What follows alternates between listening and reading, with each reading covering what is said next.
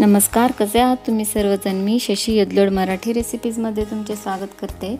आज आपण टोमॅटो चटणी थोड्या वेगळ्या पद्धतीने बनवणार आहोत. अतिशय सोपी आणि खूप कमी इन्ग्रेडियंट वापरून ही रेसिपी करणार आहोत.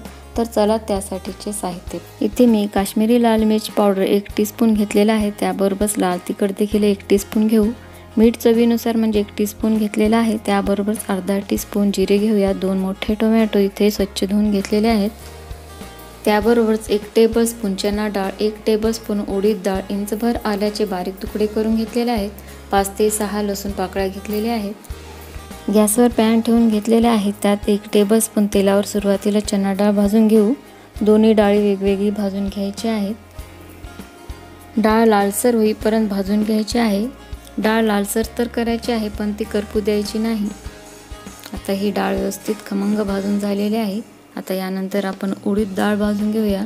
उडीद डाळ पण लालसर खमंग भाजून घ्यायची आहे करपू द्यायची नाही.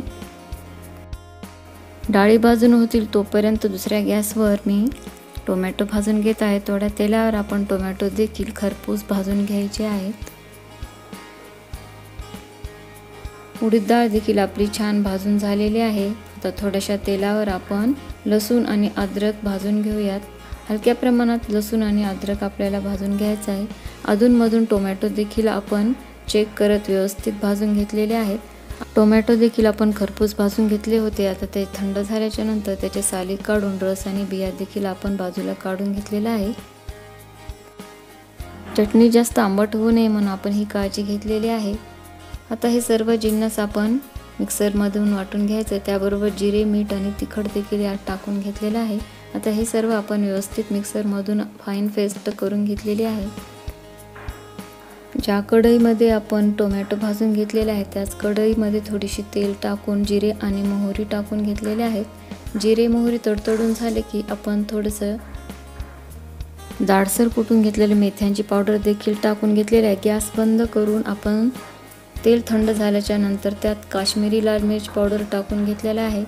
काश्मीरी लाल मिरच पावडर हलकं तेलामध्ये चुरचुरून झाल्यावर लगेच हा तडका आपण चटणीवर ओतून घ्यायचा आहे.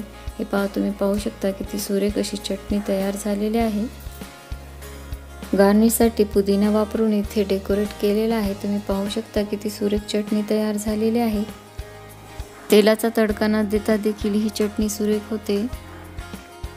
इडली डोसा भजे पकोडे किंवा पराठ्यांबरोबर देखील ही चटणी तुम्ही सर्व करू शकता. त्याबरोबरच पिझ्झा टॉपिंगसाठी देखील सॉस म्हणून या चटणीचा वापर करता येईल. हे पाहू तुम्ही पाहू शकता की ती सुरेख अशी चटणी रेडी झालेली आहे. तर कशी वाटली ही रेसिपी मला कमेंट करून कमेंट बॉक्समध्ये नक्की कळवा. तर अशा छान छान रेसिपीज घेऊन परत भेटू.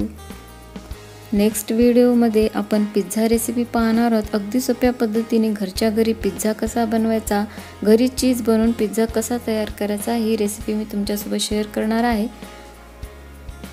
तोपर्यंत धन्यवाद. Bye bye